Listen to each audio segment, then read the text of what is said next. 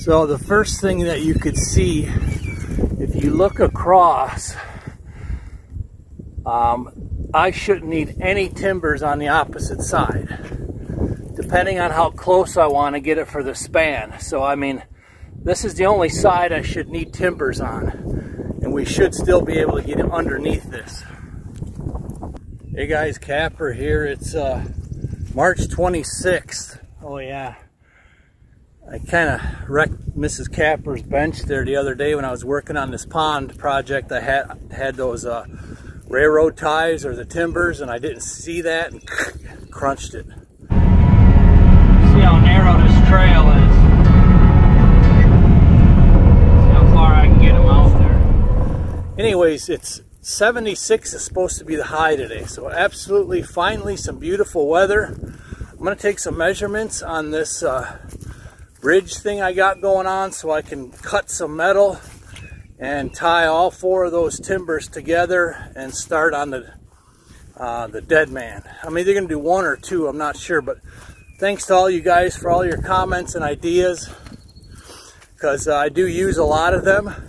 Like I said, I'm not an excavator, but I enjoy challenges and having some fun. So let's see what we can get into today.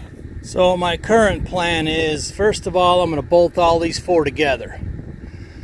And then since it's right on the edge of the water, which I thought I was a bit higher than that, I mean the water is the water is higher than full right now with all the rain, so it's only going to go down from here. But I'm going to I'm going to bolt them all together. Then I'm going to lift this thing up, and of course I'm going to keep these uh, T-posts in place. I might sink some more steel ones temporarily.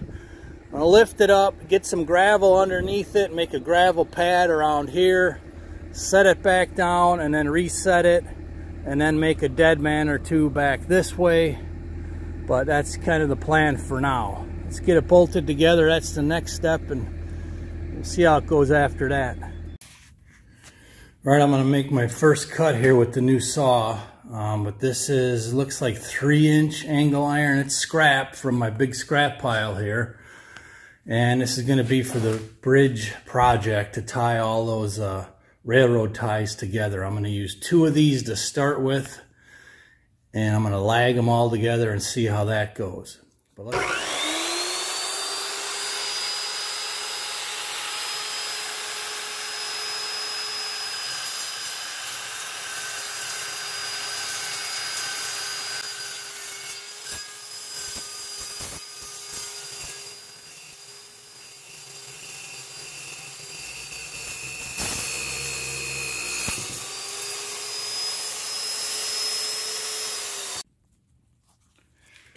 Second cut.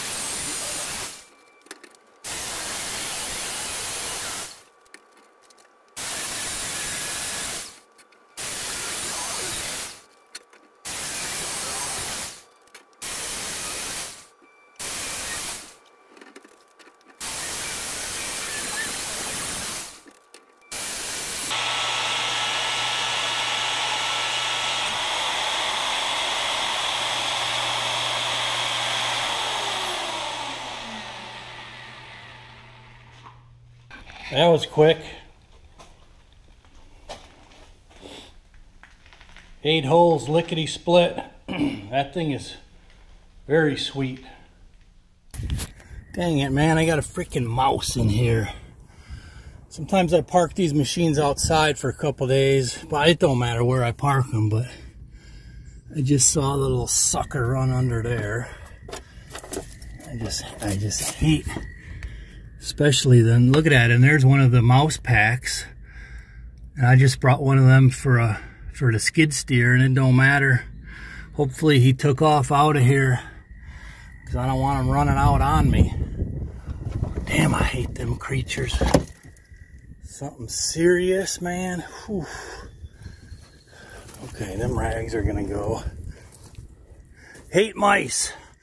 I know they feed everything else, but I still hate them. That's, it's not gonna be cool if that thing runs out on my arm or something. Well, I'm guess I'm done for today with the bridge project. I got all kinds of lag bolts, but I don't have the right size. I probably need a, you know, a little bit heavier shaft, maybe three inch, four inch bolts, but Everything's either too big or too small, too long or too short. All right, I knew I saw some somewhere. I borrowed Mrs. Kapper's DeWalt bag, and there's four of them here, good size ones. I could at least tack them in and get them into place. I knew I saw some somewhere, although I'm surprised I have about every other size except for what I need. See if I can reach this uh,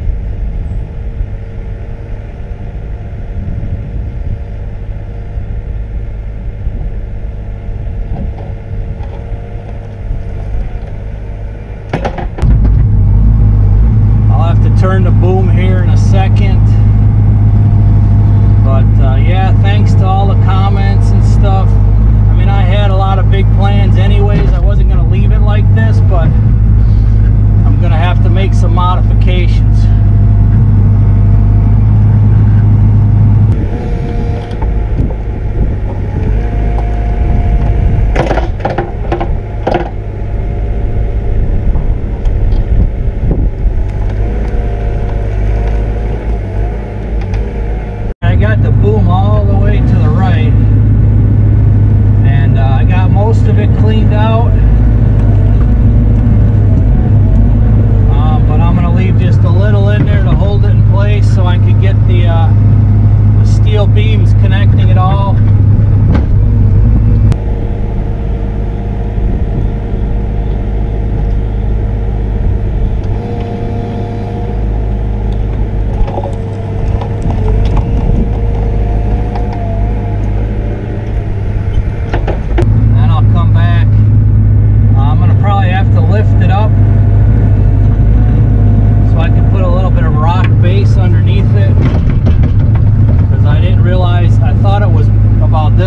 above the water level, well,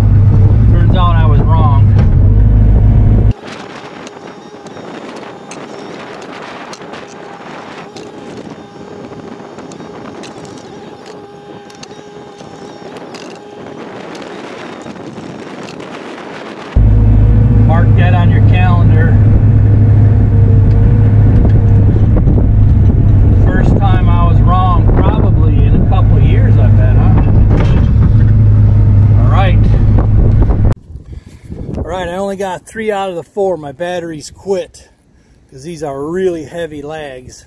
So I did, uh, I offset them there and then I was going to do the top and the bottom here and the bottom I got snug but the top one is dead in the water for now.